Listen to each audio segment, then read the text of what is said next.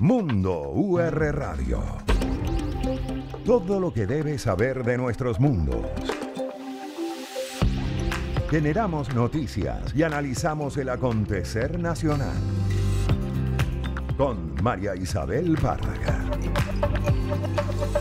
Circuito ¿Qué tal amigas y amigos? ¿Cómo están? Bienvenidos a Mundo R Radio. Vamos a estar aquí con todos ustedes en la gerencia de producción arroba Yohara Paredes, en la jefatura de producción arroba R Martínez Osorio también Ricardo pues nos da las tendencias y comparte el programa con nosotros. En la producción, arroba p.a Martínez, en los controles, arroba JJ Aguilar 2003, arroba Kevin Aguirre 2 y por supuesto mi querido Don Andrés Grafe. Conversa con ustedes, arroba La Párraga, Marisabel Párraga, en un programa que es presentado por Dulces Criollos Celatillo. Para pedir los mejores dulces, puedes escribirnos al 0414-662-2349 y recuerden que nos estamos escuchando en Caracas, en Margarita, en Maracay, en Puerto Ordaz, en Puerto La Cruz, en Maracaibo, también en la plataforma mundoR.com y nuestro canal de YouTube de Circuito Éxitos también ahora, y esto es buenísimo, nos podemos ver y escuchar a través del canal 990 por Simple TV. Nos escuchamos por allí. Vamos entonces con nuestros titulares. Así estuvo el día. Ayer jueves 20 de octubre falleció el rector de la Universidad Católica Andrés Bello, Francisco José Virtuoso. Colegas, amigos y estudiantes recuerdan el legado de uno de los pilares fundamentales de la educación y democracia en Venezuela en los últimos años. El ingeniero José Mari de Viana aseguró que el legado del padre Virtuoso siempre estará presente entre los venezolanos. Padre Virtuoso vivirá entre nosotros, en la sonrisa de los jóvenes ucavistas, en la belleza de los jardines de la universidad, pero sobre todo en el proyecto de que la universidad sea un signo de paz, de unidad entre los venezolanos y que sea un signo de prosperidad, que a través del talento y el conocimiento los venezolanos salgan de la situación de pobreza donde vivimos.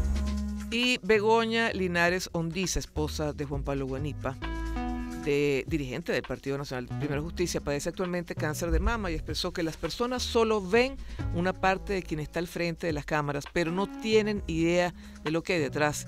Inicialmente tratas de engañarte, hacerte creer que lo que notas en tu cuerpo es normal por la edad, dijo y resultó que luego tomó el control de la enfermedad. Y yo dije en ese momento, bueno, tú tienes dos opciones, o te conviertes en una víctima, o le haces ver a los demás que esto es un camino tú vas a transitar un camino que va a ser un camino duro, unos días te vas a poner mal, unos días vas a estar bien, pero lo fundamental es entender que tú tienes una meta, tienes un propósito, tú, tú necesitas vivir. Entonces la única manera es salir de ahí. Bueno, recuerden que estamos celebrando esta semana como la semana de tomar conciencia de la importancia de los exámenes previos, de los exámenes, de, los exámenes diarios, en el caso pues del autoexamen, de los exámenes eh, anuales eh, para evitar el cáncer de mamas. Y cambiamos de tema. Las fuertes lluvias de los últimos 15 días en el estado de Aragua han dejado afectaciones importantes en Choroní. Dayana Cobos, quien es habitante de la zona, explicó que los derrumbes dejaron las vías incomunicadas por lo que no pueden llegar los alimentos. Antes que sucediera lo de Tejería y lo del Castaño, ya la, ya la situación en la carretera estaba... Mm. ya la carretera estaba trancada y entonces no se abocaron a tiempo. Yo sé que las lluvias no han cesado y esa carretera se pone fea porque sí se pone fea, pero si ellos fuesen acudido en el momento que se, que se hizo el deslave, esto no estuviera tan tan trancada así como está pues y, y tuviéramos acceso. Bueno, cambiamos eh, de tema, aunque, mm, bueno, dentro del ámbito de las lluvias, pero cambiamos de estado. Vamos a, comentarlo así. El reportero del Circuito Unión Radio en el estado de Anzuategui, Jesús Salazar, informó que las parroquias Clarines, Guanape y Onoto, allí pues las fuertes precipitaciones y el desbordamiento de la cuenca del río Unare han causado grandes estragos. Reportó que de las 7.000 viviendas entre Guanape y Onoto han sido afectadas el 10%. De Clarines, eh, la parroquia de Guanape y también Onoto, donde, según cifras por parte de la gobernación del estado y de las 7.000 viviendas entre las poblaciones, entre las parroquias Clarines y Onoto, se estima que un 10% de ellas han sufrido inundaciones. Hay cerca de 4.000 personas afectadas, en su mayoría fueron desalojadas y trasladadas a hogares de familiares o allegados y en refugios que han sido habilitados donde por lo menos en Clarines hay tres refugios habilitados, uno en una escuela, Monseñor Arturo Álvarez, en el Liceo Doctor José Rafael Domínguez, y la alcaldía del municipio Brusual, que ha decretado una emergencia a causa del desbordamiento de la cuenca del río Unare. Bueno, y también hubo música este día viernes aquí en nuestro circuito. La cantante, compositora y productora musical Wicca regresó al país luego de una década en una única función el próximo 23 de octubre en el Centro Cultural Chacao. Eh, estuvo aquí y confesó sentirse espectacular, empoderada y muy contenta de haber encontrado a una Caracas muy brillante, iluminada y feliz. La verdad, muy empoderada, muy contenta, muy feliz. He encontrado un Caracas brillante, iluminado, mucha alegría en la calle. Qué bueno. Eso es lo que yo estoy percibiendo y aparte que gente más guapa, aquí todo el mundo es guapo. ¿no me Eso sí. entiendes? Otra cosa no te tenemos, pero eso sí. La guapura, mira, eso que no nos lo quita nadie. Todo el mundo es guapo aquí, todo el Qué mundo es guapo, te sonríe, te hablan, te wow, yo me siento reina aquí. Bueno, y hablas de la alegría del venezolano, a pesar de Sí. cualquier situación, pues siempre tratamos de, de mantenernos con, con buen humor. Hombre, hay que tener en cuenta que el venezolano es resiliente. Sí, Sí. lo es. Es, es una persona peleona y luchadora y resiliente. Bueno amigos, vamos entonces a mm, las tendencias del día. El top del día. Bueno, Ricky, viernes, eh, la principal tendencia es que es viernes, ¿verdad? Casi, casi, que eso ya es una muy una buena semana, noticia. Pero muy intensa, ¿no? Muy intensa, muy intensa. Bueno, yo, yo tuve viaje y todo, y, y fui y regresé, todo en una misma Muy semana. intensa. Bueno, cuéntanos, aparte de esto, este, bueno, me imagino que, que la muerte del rector virtuoso continúa siendo tendencia, ¿no? Sí, hoy, Mari. hoy Bueno, estuvimos ahí allí. estuvimos, exactamente. Bueno, eh, yo diría que todo, todo el país estuvo allí, muchas, muchas eh, fuerzas vivas, toda esa gente con la que el rector virtuoso, eh, digamos, tuvo relación, estuvo ahí acompañándolo y despidiéndolo. Bueno, eh, realmente emocionante ver eh, eh, cómo todos los que estaban allí se expresaban del rector virtuoso como uno de los referentes de estos tiempos, ¿no? Eh, eh, bueno, Así y así es. fue, definitivamente un referente en la política, porque le encantaba la política, no para ejercerla. Una vez le pregunté, bueno, ¿y usted por qué no se mete en política? Me dice, bueno, porque no me lo permiten, pero al mismo Bueno, tiempo... hacía política, pero con P mayúscula. Exactamente, política con P mayúscula, un hombre que eh, además desde, el- desde lo social impactó a, a distintas comunidades, un hombre que formó líderes, porque en la católica sí. se forman líderes, y un hombre que tenía muy claro que la educación era la forma de, de salir de la pobreza en nuestro país. Y por Bueno. eso tanto empeño. Como todos hemos dicho en estos días, eh, a seguir su legado y paz a su alma. Sí, señor. Bueno, ¿qué más hemos tenido el día de hoy, Ricky? Mira, Mari, ha sido tendencia eh, una información que viene de Estados Unidos. Eh, Estados Unidos y la oposición se encuentran reunidas y están buscando un replanteamiento de su estrategia con relación a, bueno, al tema político venezolano. Ujú. Bueno, importante noticia, veremos qué, qué sucede en los próximos días. Pero hay otra noticia. Sí, Bueno, ¿te acuerdas que ayer comentábamos lo engorroso que era llegar a Colombia? Y, y- sí, totalmente. bueno, hay una Sí, noticia que tiene que ver con eso, ¿no? Así es. Láser Airlines anuncia que va para- eh, ya tiene autorización para volar Bogotá desde Caracas y Maracaibo, desde dos, dos ciudades importantísimas. Importantísimo. Nosotros los caraqueños que siempre tenemos el error de vernos como el centro de, Sí. de Venezuela, la verdad es que también caso Maracaibo es un gran, una gran plaza para, para Bogotá, ¿no? Bueno, Bo- eh, no solamente en Maracaibo, el día que, que nos quedamos parados en el aeropuerto de Bogotá por el mal tiempo, había mucha gente saliendo también eh, por eh, gente que iba a llegar, su destino final era Valencia, o sea que Sí. y, y era era importante el número de gente que estaba viajando Sí, también sí. para para esta ciudad. Ojalá pues esta Bueno. esta apertura sea también amplia hacia otras ciudades. del país. Entendemos que esto sobre todo lo- la buena noticia y eh, para aclararle a la gente, saben que esto siempre son como autorizaciones de ambos países.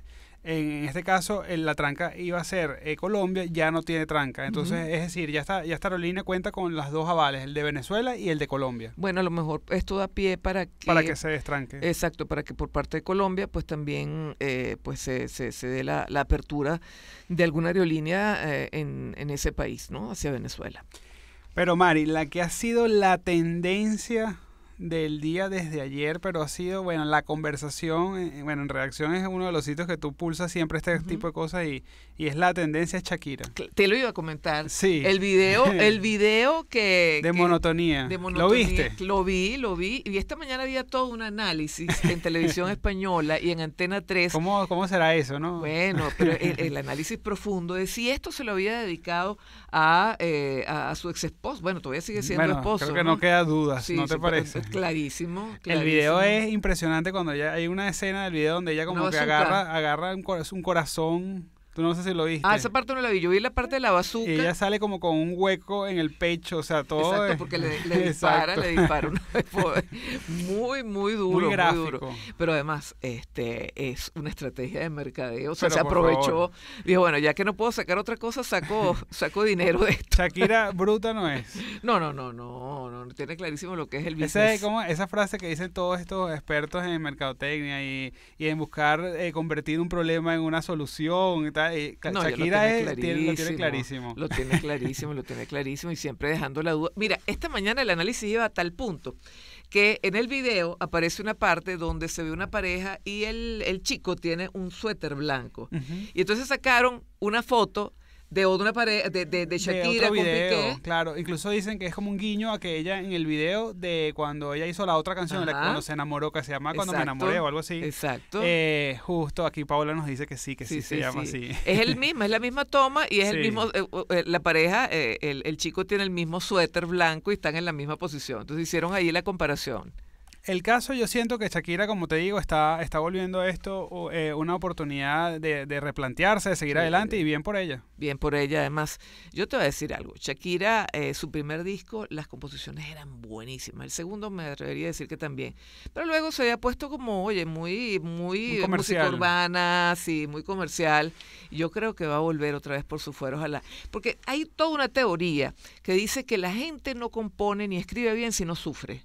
Bueno, creo que Shakira está ahorita Bueno, inspirada. Está inspiradísima, pues está sufriendo, ergo está escribiendo, ergo le está saliendo las cosas dentro ¿Te de todo imaginas que ella otra vez se ponga el pelo negro? ¿Qué, Esa qué es la tú? Shakira- La, Sha- la Shakira original. Era la que más me gustaba a mi, hecho, a mi generación. original, o sea, sí. esa fue la, ella, eh, ella fue en esa época, la, la, su época como más de compositora, Sí. como más de un gran músico, ¿no?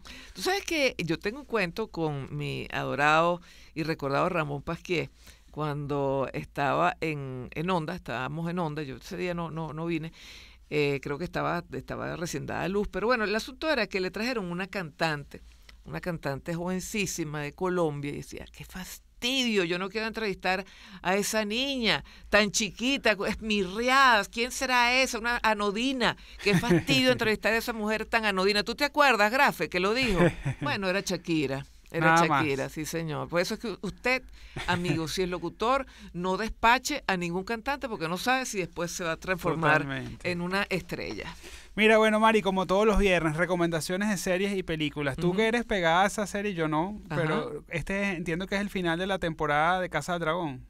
Es el final, ya el último capítulo. El penúltimo no pude verlo porque estaba en Colombia y el hotel donde estaba no tenía la señal de HBO. Tengo esa tarea pendiente. Oye, sí, muy buena. A mí me ha encantado esa serie. Me ha encantado. Además, tiene el mismo espíritu mm, de, de, de la, de la original, de la, de la predecesora. ¿Ah? Game of Thrones. Sí, o sea, la predecesora que realmente eh, pues narra los hechos posteriores. Esta es una precuela. Este, Sí. Me encanta, me encanta. sí. Hay Bueno. toda una dinámica también, una polémica de si es mejor que Game of Thrones o no. Son distintas, pero, pero igual las tramas son buenísimas. Mi recomendación, fíjate, es, no es popular, pero a mí me gustó mucho y la vuelvo a decir, es. Playlist. Es una, peli- es una serie inspirada en, en la, en la historia de Spotify. Ellos aclaran desde el principio que es una ficción, es decir, que no es tal cual lo que sucedió en ¿Pero la serie, realidad. serie o, o- es una serie un de seis, de seis capítulos. Ok. Y la verdad está bien chévere. Se las recomiendo. Además, a las personas que no les gustan estas series subidas de tono. Esta, esta es una serie familiar. La puedes ver. Eh, a ti no te pasa que a veces hay series que no puedes ver con tus hijos porque a veces te sientes Bueno, no, ya- incómoda. Ya, ya están grandes, ¿no? Creo que es más incómodo se sienten ellos. Por eso, por eso lo digo, que, Sí. que es un momento tenso cuando Sí, hay unas sí, escenas que estás con tu familia y te quedas como... Sí, nos pasaba más cuando estaban chiquitos, pero bueno, ya son adultísimos los dos. Bueno, tres, esta porque serie la puedes ver. La puedes- está en España, déjame decir. esta serie la puede ver Johari Grafe con Está sus bien. hijas y está chévere. Está bien, está bien. Bueno, este, esa está allí en, en las más vistas. Ahorita en Netflix te- tenemos, eh, siguen estando, fíjate, lo que hemos hablado, como un tiempo lo fue Pablo Escobar, que sigue estando allí. Todavía sigue cuatro. estando Pablo Escobar. La Reina del Sur.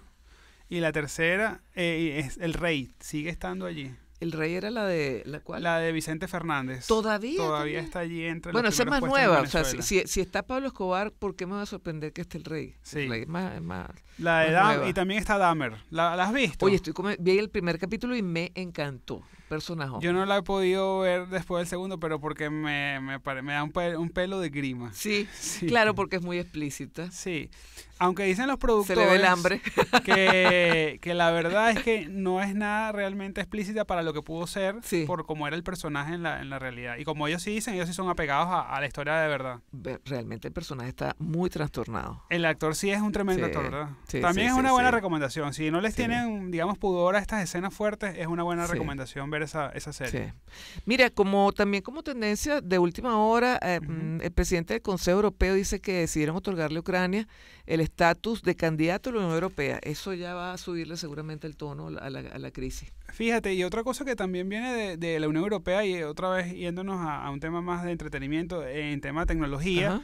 También ellos decidieron que van a, a ponerle el ojo a la venta de televisores de un voltaje muy alto eh, para evitar justamente baja- bajar un poco el consumo y que, que estos nuevos televisores no estén subiendo cada vez más el consumo de electricidad. Ah, pero imagínate, Sí, entonces sí, tiene sí. que ser ahora televisores de bajo consumo de energético. bajo consumo energético. Y hay algunos televisores que por la nitidez están teniendo mucho mucha señal. Ahí ya nos está haciendo Paola que nos tenemos que es- despedir. de esa esta es la tendencia. Bueno, Enrique, muchísimas gracias. Vamos ahora, amigos, vamos a tener después de este buen tema, luego también de los compromisos comerciales, a, mm, vamos a conversar con Verónica Raskin, queridísima amiga, locutora, animadora, eh, también comunicadora. Ella está en el canal IBC y bueno, tenemos una riquísima conversación, un riquísimo intercambio musical con ella.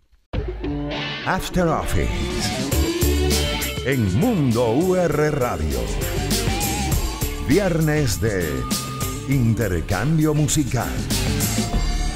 Amigos eh, de Mundo R Radio, voy a presentar una persona en este intercambio musical que yo quiero con el corazón, una queridísima amiga. En su momento fuimos compañeras durante, bueno, en mi caso durante casi cuatro años en un programa que se llamaba Mujeres en Todo. Estoy hablando de mi queridísima Verónica Raskin. ¿Cómo estás, mi Vero? Feliz de verte, escucharte, no sabes. Lo que me falta es poderte dar un abrazo, pero Sí, es un abrazo virtual. Nos los debemos, nos los debemos, mi Vero. Bueno, Verónica. Sí. Ustedes la deben haber visto, ella y escuchado, ella está actualmente, es conductora de La Buena Onda, transmitido por IBC, es licenciada en Comunicación Social, Mención Audiovisual y TSU en Publicidad y Mercadeo, locutora, modelo, excelente persona, bueno, una tipaza, maravillosa, este, una de esas personas que, oye, que, que es una delicia trabajar, Vero, yo creo que esa, ese, tengo que decir que de, de mi vida profesional que, que bueno, ya, ya unos cuantos añitos, yo creo que esos cuatro años fueron para mí súper especiales, compartir contigo, con Albita, éramos un equipo, pero allí divino, divino, la pasábamos muy bien. Increíble. Y se aplicó aquello de la sororidad, porque quienes piensan que las mujeres, entre mujeres, trabajamos mal, déjenme decirles que para nada. Y yo veo que eh, tú, por ejemplo, ahorita también te llevas chévere con tus compañeras y, y- y bueno, yo creo que eso, eso se desmitifica precisamente haciendo, bueno, unos programas donde uno lo disfrute, ¿no? Sí, Mari. Y además yo a ti te debo haberme inyectado esa dosis de ejercicio que siempre te tengo que mencionar en mis cuentos porque la gente cree que yo hago ejercicio de toda la vida. Y yo siempre les digo, no, eso fue Marisabel Párraga, que Es me dio que el mejor consejo de fitness. mi vida. Eres que era que fitness. tuviera el morral listo para ir a entrenar. Y eso, no sabes, todos los días lo hago, mi Mari. No Y es lo mejor veo. consejo que yo le doy a la gente. Estás durísima, estás durísima. Pero aparte de Ay, eso, hiciste recientemente, bueno, eso vamos a hablar porque a lo mejor parte de tu música tiene eso, un camino que es un camino, sí, donde hay mucho ejercicio, pero también es un camino espiritual como es el Camino de Santiago. Bueno, Vero, te cuento, este programa, eh, esta, esta parte del programa es una suerte de intercambio musical porque partimos del principio de que para conocer a alguien hay que escuchar su música. Eh, yo te tengo aquí algunos temas que yo aprendí de ti, pero bueno, ya te los vamos, te lo- te los vamos a poner. Pero bueno, ¿con qué vamos a comenzar? Siempre eh, comenzamos con, con el invitado. Bueno, yo puse un tema que es tiburón, justamente. Ese es un tema que lo tengo en mi ADN. Desde que yo era chiquita, nosotros bajábamos a la playa e inmediatamente camino a La Guaira. ¿Qué escuchamos? Tiburón. Un poco masoquista de parte de mis papás, ponernos tiburón para ir a la playa. pero es así, uno bajaba con su playlist de la salsa brava y ese era un tema clásico, tiburón. Rubén Blades, vamos a escucharlo de este disco icónico. ¿Te gusta la salsa, Vero? Me encanta, me encanta. Mis papás son melómanos, lo digo siempre, muchísimo. A ellos le debo toda mi cultura musical y sobre todo de esa época de la salsa, de Rubén Blades, de Willy Colón, de La Fania. Todo eso lo viví y después tuve la oportunidad de hacer un programa como para conocer a todas estas leyendas musicales con las que había crecido y conocer mucho más de ellos y entender lo que había pasado con la salsa y cómo cambió muchísimo. No te escuchamos la parte, la última parte. Dijiste que, que, bueno, con estas leyendas tú las llegaste a entrevistar. ¿Cuál te llamó más la atención? Uy, no, mi, mi Mari, imagínate, tú sabes que es una a una eh, ir entrevistando todas las leyendas de la salsa, desde un Larry Harlow, este, un, bueno, uno de los que me impactó es este Ray Barreto, porque me costó mucho esa entrevista. Estuve nueve horas esperando en el lobby del hotel. Él estaba resolviendo cosas de los músicos que no les habían dado el almuerzo, tú sabes, cosas de logísticas de conciertos. Este, y finalmente tuve que esperar hasta las nueve de la noche que me dio la entrevista antes de irse a la rinconada y desafortunadamente se enfermó después y a los pocos días falleció. ¡Wow! Y entonces dijeron que fue la última entrevista que le hicieron, fue la mía en Venezuela. Entonces, imagínate, fue en su hotel, fue una entrevista muy íntima, de hecho está montado por, no por mí, por otras personas en YouTube. Y fue un súper honor conocerlo, hacer esa entrevista y siempre digo que valió la pena la espera. Pero así como él, imagínate, Larry Harlow me recibió en su casa, me, me, enseñó cada foto y cada cuadro y cada premio que tenía colgado en la pared. Me echaba los cuentos, nos hicimos amigos y así cada uno, mi, mi Mari. Entonces, para mí era como que un checklist uno por uno. ¿Cuál quedó pendiente? Rubén Blades, que lo conocí en varias oportunidades, pero el día que lo iba a entrevistar me vino la menstruación y me manché todo y me tuve que ir corriendo. No, a mi casa. no, no, no, qué cuento. Qué horrible, cuento. horrible. Y quien me salva es Santiago y de ahí empezó parte de nuestra complicidad. Pero, pero sí, o sea, pero por ejemplo Willy Colón eh, era un must para mí y también tuve la oportunidad de hacer una entrevista, todo un reto, porque fue justo después de Leonardo Padrón de Los Imposibles, después que se lanzó una hora en el camerino del Poliedro de Caracas, después de dar un concierto.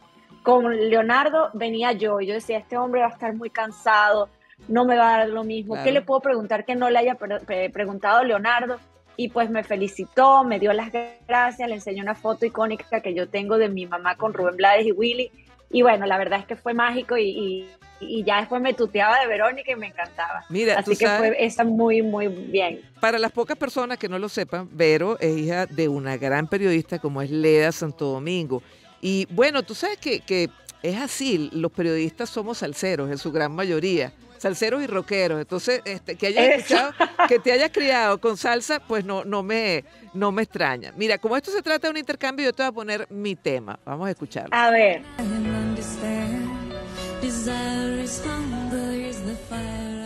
Esa es, eh, ese es un tema de los años 90, eh, es Los 10.000 Maníacos. ¿Te gusta, ¿Te gusta también la música anglo, Vero? Pero por supuesto, acuérdate que yo me mudé a los nueve años a los Estados Unidos y por supuesto que crecí, aunque esta es más de esta época, ya estaba en Venezuela con, los mil maníacos, pero los, los 10,000 maníacos, sí, maníacos.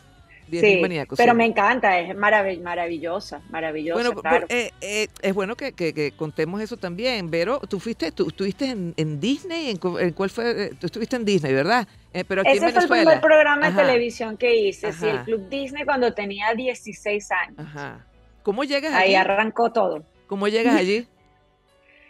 Ay, bueno, hice un casting que, que, mi mamá primero me había prohibido hacer. Este, Erika Johnson vio una foto mía en el escritorio de mi mamá, estaban buscando chamos, adolescentes, y ella dijo, ¿por qué no mandas a tu hija al casting de Disney? Y mi mamá dijo que no, que yo estaba estudiando, apenas estaba en tercer año.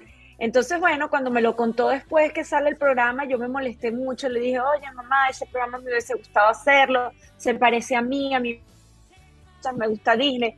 Bueno, en otra oportunidad. Y resulta que la oportunidad llegó a los ocho meses que se va una de las animadoras. Erika le vuelve a decir a mi mamá y mi mamá me dice casi que un día antes, ah, por cierto, mañana hay un casting, el que tú querías, pero yo no te puedo llevar, así que va a ver cómo haces. Es en la campiña. y yo agarré un taxi y me fui para mi casting. En mi vida había hecho un casting. Ajá.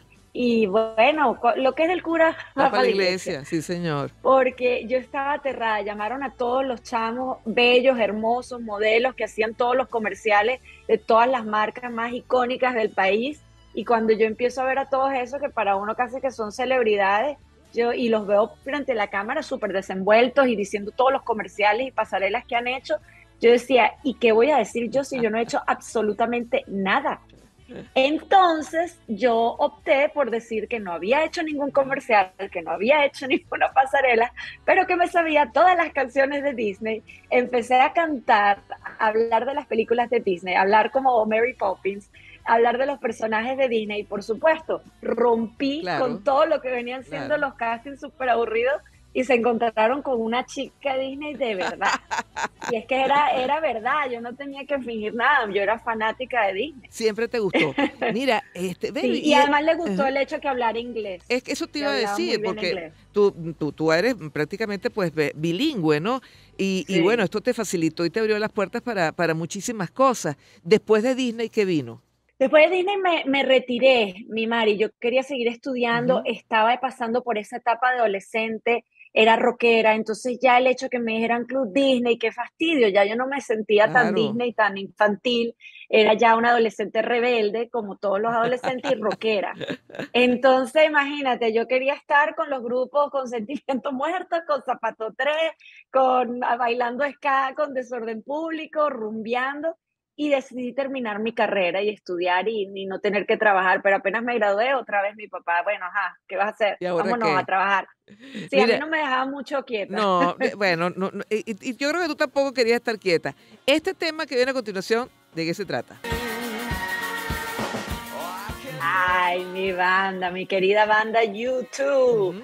Esa es de esa época, adolescente, un poquito más joven, ahí todavía estaba en los Estados Unidos. Eh, vi un concierto Under the Red Blood Sky de YouTube. Este, en ese momento no entendía mucho la letra de las canciones.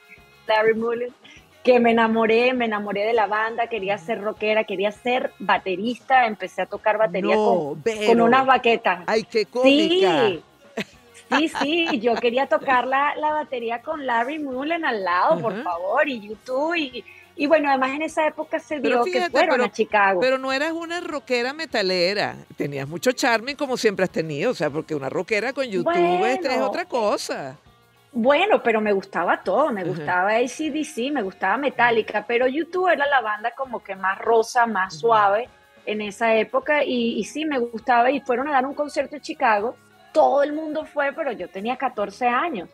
Entonces, por supuesto que no me llevaron y cuando yo veía a todo el mundo con las camisas, yo andaba muy picada.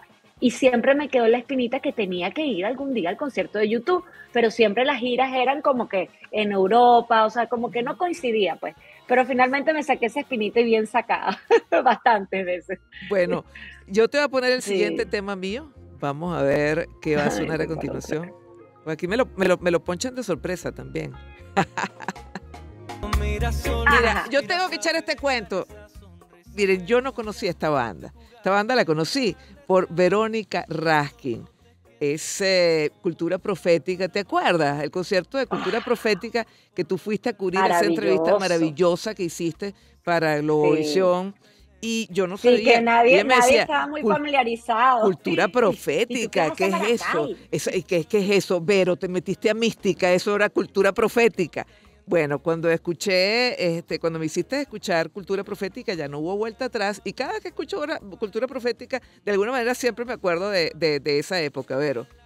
Qué bello. ¿Te gusta qué cultura profética, por eso. supuesto? Pero por supuesto, no, no, es que para mí es muy difícil porque de verdad este, yo me apasiono mucho con la música y me gusta saber la historia de las bandas y las agrupaciones y de lo que hablan. Entonces, sí, con cultura profética a mí me gusta el reggae y escuchaba Bob Marley y muchas otras bandas, Steel Pulse, para ir a la playa porque es ese reggae, es lo que me conecta con el mar. Entonces, claro, cuando descubrí cultura profética me, me encantó y que fueran latinos, o sea, me, me llamó mucho la atención y me parecía excelente el trabajo que estaban haciendo. Pero no eran las bandas que más se promocionaban en el país. Nadie la Entonces, sí, éramos conocía. como medio groupie. Nadie Éramos la como conocía. al, principio, sí. sí, sí, nadie la conocía. Yo me acuerdo que llegaste. Entrevisté a una banda buenísima, Cultura Profética, y Alba y yo, sí, Cultura Profética, ahora se metió a Mística. Pues bueno, pero así. Hasta que la pusiste y dije, ya lo entendí todo. Sí, sí, ¿no? Y, y hoy en día bandas como Rawayana, que han hecho conciertos Sí. con ellos, fui a verlos a los dos juntos. Y, y bueno, y fíjate, o sea, ellos son bandas que están, bueno, ya no empezando, pero que le rinden mucho respeto Sí. a cultura profética. Mira, bueno, ponme tu tema, el que viene. Ay, Mecano. Cuéntame de Mecano, porque tú estabas muy jovencita con Mecano. Bueno, tú sabes que vivíamos fuera, entonces nos mandaban los cassettes de las cosas que estaban sonando en Latinoamérica, es decir, nosotros en Los Ángeles, lejísimos, y nos mandaban el cassette de Desorden Público, el cassette de Karina, el cassette de Kiara y el cassette de Mecano. Entonces, claro, además esos son, porque allá no llegaba mucho esa música latina, de repente llegó después un Luis Miguel, para que tú veas, Imagínate. y fui a un concierto con Karina y Luis Miguel, pero donde Luis Miguel era el telonero de Karina. No porque te la creo. famosa era Karina. Sí, no señor. puede ser. Qué cuento tan bueno. No, no, no. Es demasiado bueno porque además yo fui a ver a Karina. ¿Y tú le recordado eso a recuerdo. Karina, que está allá en Miami? Sí, sí, una vez se lo conté y le dije, mira, yo recuerdo que como mi mamá era periodista, teníamos pases para ver a los artistas atrás y ella, por supuesto, venezolana, Karina y tal, la fue a entrevistar y andamos en el backstage. Pero yo recuerdo que estábamos en el primero de frente haciendo como bordeando para entrar al backstage y yo veía al chico, a Luis Miguel. Pero claro. Este tipo es bueno. Esa canción me gusta porque era una versión que Es yo sabía en inglés, pero estaba y estaba como para mí porque era adolescente. Claro, estaba allí. Estaba chiquitico, chiquitico. Y yo no dejaba de verlo y no dejaba de verlo y con su copeta y su melena. Y bueno, estuvimos ahí porque, bueno, yo era fanera de Karina, nos tomamos la foto con Karina, estuvimos ahí con Karina, chévere, pero yo no dejé de quitarle el ojo y como que empecé a seguir a Luis. Miguel desde esa época. Entonces yo digo, wow, qué increíble, increíble. porque después se montaba Karina. Qué increíble, qué historia tan Sí. buena. Mira, ¿no has pensado escribir un libro con todos esos cuentos, Vero? Oye, no, mi madre, Pero no lo tienes había que pensado, escribirlo, tú tienes demasiados cuentos de los artistas. Bueno, pero no sé, yo siento Tú que lo, todo bueno, si ya no, se tú me lo echas y yo te lo escribo. Bueno, pero es buena idea, buena idea. Eso puede ser una materia pendiente. Una materia un libro de las anécdotas de la música. Sí. Bueno, mira mi Sí, siguiente tema. A ver. Y mira lo que vamos a recordar. Ay, pero no te eché el cuento de Mecano al final. Ah, bueno, el cuento de Mecano al Mecano- final. Ajá. No, que no, nos encantó muchísimo, por supuesto, todo lo que hicieron y además lo transgresor. O sea, esa, esa historia de Cruz Navaja a mí me pareció insólita cuando la entendía. Y dice, pero ¿cómo es posible? Claro. ¿Qué es eso? Y después termina muerto, no puede ser. O sea, Una drama. infidelidad Y- total. Casualmente la semana pasada, el fin de semana pasada, estuvimos en el concierto de Ana Torroja y no sabes, o sea, maravilla, es que ¿no? realmente es todo el soundtrack Sí. de la vida de uno. Sí. La gente estaba vuelta loca, ella es una maravilla. Entonces realmente me encanta, me encanta Mecano, me encanta Ana Torroja y me encanta todas las canciones que hicieron en esa época y cómo se sostienen con el tiempo. Mira lo que te voy a poner. Serrat está de gira de Ah, yo sabía, yo sabía que tú eres una de cerrar y se- Te voy a poner a mi, a mi Ay. novio Serrat. ¿Y por qué te voy a poner a mi novio Serrat? Ese tema es muy lindo, se llama Los Locos Bajitos. Y yo recuerdo cuando este, nuestros hijos todos estaban bajitos y eran chiquitos. Eh, mire, nosotros nos hicimos tan amigas, Vero, Albita y yo, que nos fuimos a hacer rafting con nuestras familias en Barinas. ¿Te acuerdas, mi Vero? Por supuesto, inolvidable. Inolvidable. Y estaban nuestros locos bajitos, estaban tus niñas chiquiticas, estaba, mm, bueno, mi niño Ander no lo dejaban montarse el rafting porque todavía era muy pequeño, entonces lo tenía que agarrar el señor de, la, de la balsa. Estaba Aitor también pequeño. Calma. Alay, sí, tus niñas estaban muy chiquitas. Y Ander y, y, y Alay, pues era una señorita como de 15 años. Y fue un viaje, bueno, y estaba, estaba Dani también pequeño, tenía más o menos la edad de mis hijos. Fue un viaje inolvidable con nuestros locos bajitos y nuestros maridos. La pasamos increíble. Yo me acuerdo un día que regresamos a hacer rafting, que habíamos dejado a Salma Y dije, ay, ¿qué estará haciendo Salma? Y la dejamos en una piscina y apareció corriendo ahí, desnudita. Sí. Y me dijo, y esa foto está por ahí. Entonces ella me dice, mamá, y yo andaba por ahí desnudita. Y yo, ay, hija, claro, eres una niña, tenías dos añitos, eras enana. La pasamos Ah, demasiado increíble. bien. La pasamos demasiado bien, mi. Qué belleza, qué belleza. Tú sabes que Serrat dio un concierto, eso lo recordé porque vino Soledad Bravo, y quien la, la lleva es su sobrino que está casado con mi prima Claro. Katy. Y entonces estaban contando anécdotas de Serrat, que Soledad Bravo es una de las pocas artistas así venezolanas grandes que cantó con Serrat y que Serrat muere por ella. Bueno, y estaban decirte- diciendo que debería cantar con ella en ese ¿Viste? concierto, pero están en ese. ¿Viste ese concierto de, de- de Soledad que fue una belleza? Aquí lo tuvo en Caracas, está estupenda ella, con una voz todavía pues maravillosa, privilegiada.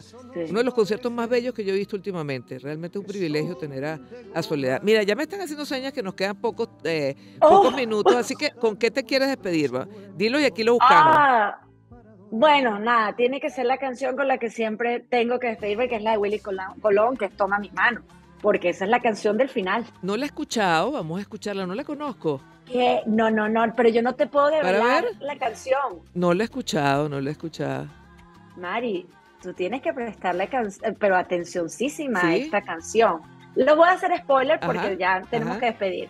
Esta es una canción que tú la escuchas y es un señor, una persona que está todo el tiempo, o pareciera ser una persona, que está todo el tiempo vigilando a otra, como si fuera una especie de, de diamante que está esperando su oportunidad para conquistar a esta persona. No, yo te espero y no, y tal cosa. No, yo te estoy esperando, te estoy esperando.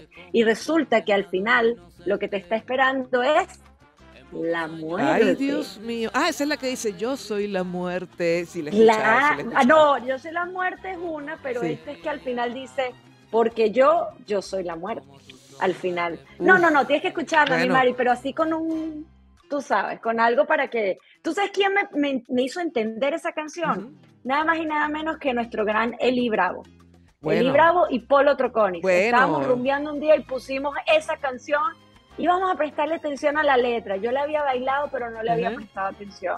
Y de ahí quedé marcada para siempre. Estás con dos filósofos y, y, y, y, y- Y melómanos. Sí, melómanos de los nuevos tiempos, qué maravilla. Bueno, mi Vero, te quiero mucho. eh, tú sabes que desde aquí se te extraña muchísimo. Por favor, véanla, síganla. No hablamos de tu viaje. Esto merece una segunda parte, así que la vamos a tener. Amén. Una segunda parte con un segunda, eh, otros temas que no pusimos aquí.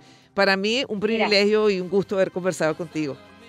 Mi Mari, el placer es mío y buenas noticias. Pronto creo que lo podemos hacer en vivo. Ajá. Porque creo que voy pronto, en unos mesecitos, a Venezuela. Porfa, porfa, te tendremos aquí y por supuesto rubiaremos juntas nuevamente. Le decimos Albita, nos vamos las tres.